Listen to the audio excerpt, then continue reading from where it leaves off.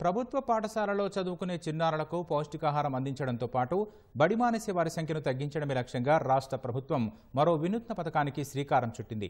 ఇప్పటికే మధ్యాహ్న భోజనం ద్వారా విద్యార్థుల కడుపు నింపుతున్న సర్కారు ఉదయం పూట అల్పాహారం అందించేందుకు ముఖ్యమంత్రి అల్పాహారం పథకాన్ని అమల్లోకి తెచ్చింది. రాష్ట్ర వ్యాప్తంగా మంత్రులు ప్రజాప్రతినిధులు కార్యక్రమాన్ని ప్రారంభించారు. దసరా సెలవుల తర్వాత పూర్తి స్థాయిలో పథకం అమల్లోకి వస్తుందని ప్రభుత్వం తెలిపింది. దేశంలో ఎక్కడా లేని విధంగా విద్యా వ్యవస్థ బలోపేతానికి రాష్ట్ర ప్రభుత్వం చర్యలు చేపట్టింది. కొత్తగా గురుకుల పాఠశాలలు కాలేజీలు ఏర్పాటు చేయడంతో పాటు సుమారు ఏడు వేల కోట్లు వెచ్చించి మన ఊరు మనబడి ద్వారా మౌలిక సదుపాయాలు కల్పిస్తోంది. ఇదే సమయంలో ప్రభుత్వ పాఠశాలల్లో విద్యార్థులను చేర్చేందుకు ప్రత్యేకంగా అవగాహన కార్యక్రమాలు నిర్వహిస్తోంది.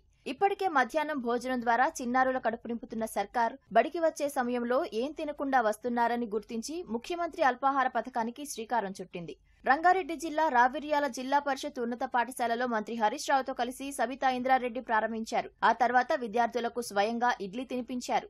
విద్యారంగం బలోపేతానికి ఎన్నో వినూత్న కార్యక్రమాలకు శ్రీకారం చుట్టామన్న మంత్రులు ఆ ఫలితాలు కనిపిస్తున్నాయని వివరించారు. అల్పాహార పథకం పేద పిల్లలకు వరమన్న మంత్రులు ముఖ్యమంత్రి కేసీఆర్ ఏ పథకం ప్రారంభించినా దాని వెనుక ఓ మానవీయ కోణం ఉందని పునరుద్ఘాటించారు. ఏ రాష్ట్రంలో లేని విధంగా మన రాష్ట్రంలో అందరి పిల్లలకి రాగిజావ అందిస్తున్న ఏకైక రాష్ట్రం ఏదంటే తెలంగాణ రాష్ట్రం.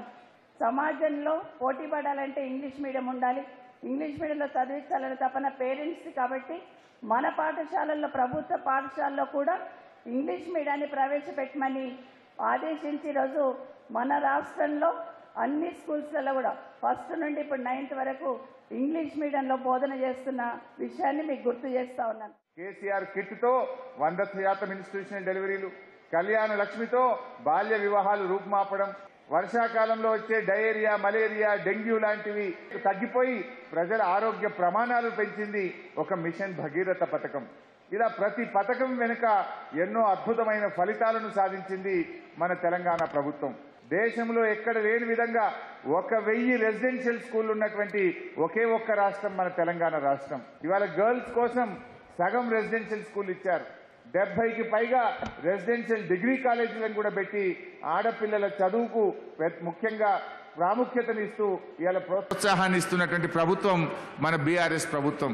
ఒకటో తరగతి నుంచి పదో తరగతి వరకు పిల్లలకు ఉదయాన్నే బ్రేక్ఫాస్ట్ అందించే ఒకే ఒక్క రాష్ట్రం తెలంగాణ రాష్ట్రం అని కూడా చెప్పుకోక తప్పదు. సీఎం బ్రేక్ఫాస్ట్ పథకంతో కడుపు నింపడమే కాదు డ్రాప్ అవుట్స్ను తగ్గించి విద్యా వికాసానికి ఉపయోగపడుతుంది. కేంద్ర ప్రభుత్వం నైన్త్ టెన్త్కు మధ్యాహ్న భోజనం ఇవ్వలేదు. అనేక రాష్ట్రాల్లో నైన్త్ టెన్త్ కూడా మధ్యాహ్న భోజనం పెట్టలేదు కానీ వంద శాతం రాష్ట్ర ప్రభుత్వ నిధులతో తొమ్మిదో తరగతి పదో తరగతి పిల్లలకు కూడా మధ్యాహ్న భోజనం అందిస్తుంది మన కేసీఆర్ సర్కార్ మన బీఆర్ఎస్ సర్కార్. హైదరాబాద్ అమీర్పేట డీకే రోడ్డులోని ప్రభుత్వ ఉన్నత పాఠశాలలో ముఖ్యమంత్రి అల్పాహార పథకాన్ని హోంమంత్రి మెహమూద్ అలీ తలసాని శ్రీనివాస్ యాదవ్ ప్రారంభించారు. సికింద్రాబాద్ వెస్ట్ మారేట్పల్లిలో పాల్గొన్న మంత్రి కేటీఆర్ విద్యార్థులతో కలిసి అల్పాహారం చేశారు. ఈ పథకం ద్వారా తల్లిదండ్రులతో పాటు విద్యార్థులకు మేలు జరుగుతుందని కేటీఆర్ తెలిపారు.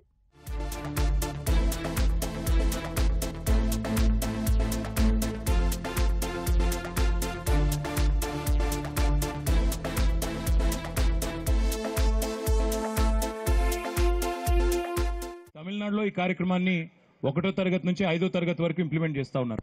కానీ తెలంగాణలో ముఖ్యమంత్రి కేసీఆర్ గారు ఏమన్నారంటే ఒకటో తరగతి నుంచి పదో తరగతి వరకు కూడా పిల్లలకు పెడదాం. ఎందుకంటే తల్లిదండ్రులకు ముఖ్యంగా ఎక్కడైతే తల్లులు తండ్రులు ఇద్దరు కూడా పనికిపోయే తల్లి తండ్రి ఉంటారో డెఫినెట్గా వాళ్ళకు కూడా కొంత రిలీఫ్ ఉంటుంది. బ్రేక్ఫాస్ట్ వాళ్ళు ఎక్కడన్నా తినొచ్చు పిల్లలు మాత్రం ఖచ్చితంగా స్కూల్లో వాళ్ళకి దొరుకుతుంది అనే ఒక విశ్వాసంతో మంచి నాణ్యమైన బ్రేక్ఫాస్ట్ వస్తుందనే ఒక విశ్వాసంతో వాళ్ళు కూడా పిల్లల్ని డ్రాప్ చేసి వాళ్ళ వాళ్ళ పనికి తొందరగా వెళ్ళిపోవచ్చు. అటు పిల్లలకి లాభం ఇటు తల్లిదండ్రులకి లాభం.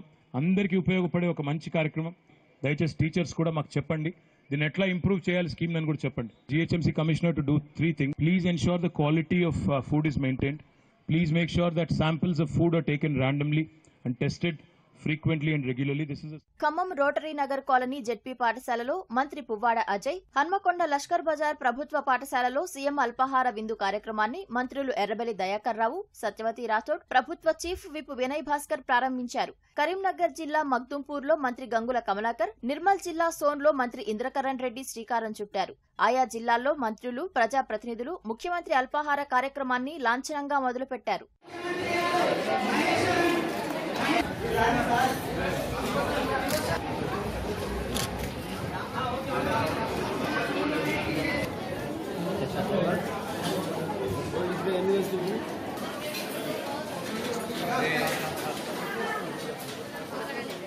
పథకం అమలు పర్యవేక్షణ బాధ్యతలను పట్టణ ప్రాంతాల్లో మున్సిపల్ కమిషనర్లు గ్రామీణ ప్రాంతాల్లో జిల్లా అదనపు కలెక్టర్లకు అప్పగించింది. ఈ పథకం ద్వారా ఇరవై ఏడు వేల నూట నలభై ఏడు పాఠశాలల్లో ఒకటి నుంచి పదో తరగతి చదివే దాదాపు ఇరవై మూడు లక్షల మంది విద్యార్థులకు లబ్ధి కలగనుందని ప్రభుత్వం తెలిపింది. ప్రతిరోజు పాఠశాల ప్రారంభానికి నలభై ఐదు నిమిషాల ముందు అల్పాహారాన్ని వడ్డించనున్నారు. సోమవారం ఇడ్లీ సాంబార్ లేదా గోధుమ రవ్వ మంగళవారం పూరి ఆలూ కుర్మా లేదా టమాటా బాత్ బుధవారం ఉప్మా సాంబార్ లేదా బియ్యం కిచిడి గురువారం చిరుధాన్యాలతో చేసే ఇడ్లీ సాంబార్ లేదా పొంగల్ సాంబార్ శుక్రవారం ఉగ్గాని పోహా లేదా చిరుధాన్యాల ఇడ్లీ శనివారం పొంగల్ సాంబార్ లేదా కూరగాయలతో చేసిన పులావ్ అందించనున్నట్లు ప్రభుత్వం తెలిపింది.